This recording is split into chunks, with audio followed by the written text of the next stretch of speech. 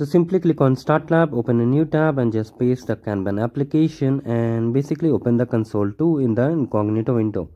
Now here you have to click on assign to me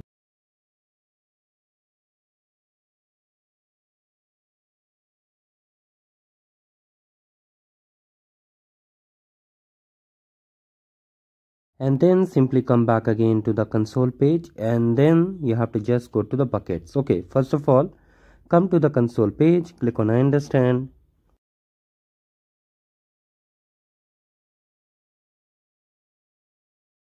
Here if you get this kind of pop-up click on I agree I agree and continue. And from the search box you can see on the search box simply click on this cloud storage.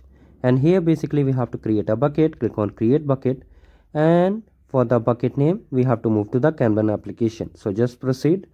Let me show you how you have to do it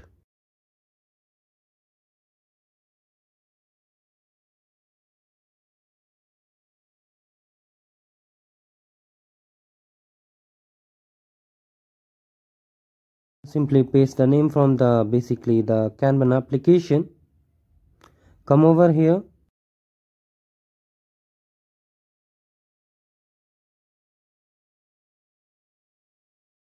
It and paste over here. And for the region always check the lab instructions.